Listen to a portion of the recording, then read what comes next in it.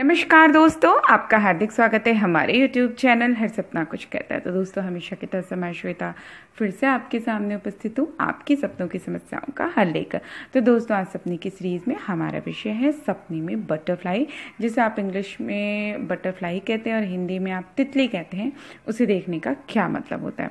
दोस्तों, सपने में तितली देखना साइकोलॉजिकली बताता है कि जब आप जीवन में किसी बड़े बदलाव ट्रांजिशन या नवीन चीज़ों के जीवन में घटनाएँ होती हैं या घटित होती हैं, तब भी आपका जो सबकॉन्शियस माइंड है, वो आपको बटरफ्लाई के सपने ज़्यादा दिखाई देता है। मतलब आप चेंज हो रहे हैं, आप बदल रहे हैं, या आपकी ज़िंदगी में एक बहुत बड़ा पॉजिटिव बदलाव आ रहा है। इसके अलावा जब आप बहुत खुश होते हैं, बहुत प्रसन्न होते हैं, आंतरिक रूप से बहुत खुशी आपके अंदर भरी हुई होती है, तब भी आपको बटरफ्लाई दिखती है, खासकर फूलों पर बैठी हुई बटरफ्लाई इसके अलावा अंदर की प्रसन्नता आपके सबकॉन्शियस माइंड में बटरफ्लाई के रूप में आपको ड्रीम्स में दिखाई देती है। लेकिन यदि एस्ट्रोलॉजिकली बात करूँ तो बहुत सारे सिचुएशंस बनती हैं और बहुत सारी सिचुएशंस की बहुत सारी मीनिंग बनती है। जैसे कि यदि आप आ, सपने में कुकून देखते हैं बटरफ्लाई का खासकर आप देख रहे हैं कि कुकून से बटरफ्लाई निकल रही है। मतलब उसका जो प्यूपा है, उसमें से वो फट रहा है, उसमें से तितली निकल रही है, वो उड़ रही है। या आप उसको तितली को वहाँ पे पूरी तरह से मेहनत करते हुए या निकलते हुए देखते तो इसका तात्पर्य है कि आपकी ज़िंदगी में एक बहुत बड़ा पॉजिटिव बदलाव आने वाले समय में होने वाला है।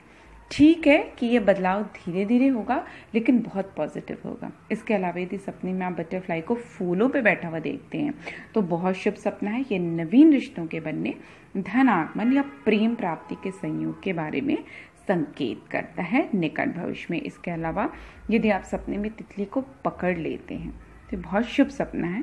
खुशी प्राप्ति और नवीन रिलेशनशिप्स के जो आपके जीवन में उन्नति में सहायक है, उस ओर संकेत करता है। तितली को मार डालना तितली को मार डालना एक शुभ सपना नहीं है। यह लाइफ में किसी समस्या के आने की ओर संकेत करता है। और यदि आप सपने में खुद को तितली को मारते हुए या घायल करते हुए देखते हैं तो यह निकट भविष्य में किसी प्रेम के संबंध में आपका जो भी, जिससे भी, जो भी व्यक्ति, जिससे भी आपका प्रेम है, और उसके अलावा वो भी जो आपके निकट हैं या जो आपके फ्रेंड्स हैं, उनमें से किसी के साथ आपके संबंधों में खटास आने की ओर संकेत करता है। इसके अलावा यदि आप सपने में देखते हैं कि तितली एक फूल से दूसरे फूल पे जा रही है। बहुत ही फेवरेबल सपना है, बहुत जल्द आपको कोई शुभ समाचार मिलेगा। साथ ही ये सपना आर्थिक लाभ की प्राप्ति की ओर भी संकेत करता है। अब एक क्वेश्चन है कि यदि आप सफ़ेद रंग की तितली देखते हैं तो ये बहुत शुभ नहीं होता है। कुछ कल्चर्स में, खासकर जापानीज कल्चर में सफ़ेद तितली को देखना शुभ नहीं माना जाता, वहाँ इसे बीमारी की ओर संकेत मानता है। लेकिन हमारे कल्चर में सफ़ेद तितली को देखना पीस और चेंज को बताता है। मतलब जब जीवन में शांति आएगी या आप रिलैक्स महसूस करेंगे, तब भी आपको सफ़ेद तितली के सपने दिखाई देते हैं। लेकिन ज़्यादातर इनका जो सपना होता है वेस्टर्न एस्ट्रोलॉजी में इसे अच्छा नहीं माना जाता। यदि सपने में तितली हाथ पर बैठ जाए तो ये एक अच्छा सपना है। और ख़ासकर ये सपना साइकोलॉजिकल होता है, बहुत एक्सटेंट तक ये बताता है कि ये टाइम है अपने आप को एक्सप्रेस करने का, खुद को एक्सप्रेस करने का। हो सकता है कि आप अपने आप को सही ढंग से दुनिया के सामने प्रेजेंट ना कर पा रहे, अपनी बात को ना कह पा रहे।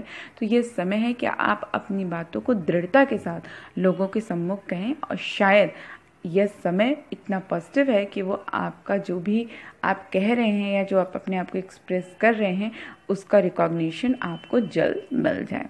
इसके अलावा यदि सपने में आप काली तितली देखते हैं तो ये ज़िंदगी में बहुत बड़े बदलाव की ओर संकेत करता है। ये बदलाव छोटा मोटा नहीं, काफ़ी बड़ा हो सकता है। यदि आपको बार बार काली ही तितली दिख रही है तो काफ़ी बड़ा बदलाव आपको देखने को मिल सकता है। इसके अलावा यदि सपने में आप किसी अन्य रंग की रंग बिरंगी तितलियाँ देखते हैं तो शुभ होता है। ये बदलाव के साथ साथ नवीन उन्नति की ओर भी संकेत करता है। और ख़ासकर आप जब किसी डार्क रंग की तितली को देखते हैं। तो यह आपकी ज़िंदगी में आपको एक तरह से साइकोलॉजिकली सपना आपको बताता है कि आप जो भी सिचुएशन अपनी जागृत अवस्था में जी रहे हैं, उसमें आपको अपनी समस्याओं के हल के लिए नवीन अप्रोच की ज़रूरत है। अपने ओल्ड प्रॉब्लम्स को एक नवीन दृष्टिकोण से देखें और आप पाएँगे कि आपको अपनी समस्या का हल बहुत जल्द मिल जाएगा। तो दोस्तों, आशा करती हूँ आपको हमारी आज की दी हुई जानकारी पसंद आई होगी। ऐसी रोचक जानकारी के लिए कृपया आप हमारे चैनल को लाइक सब्सक्राइब और शेयर अवश्य करें। तब तक के लिए दोस्तों, नमस्कार।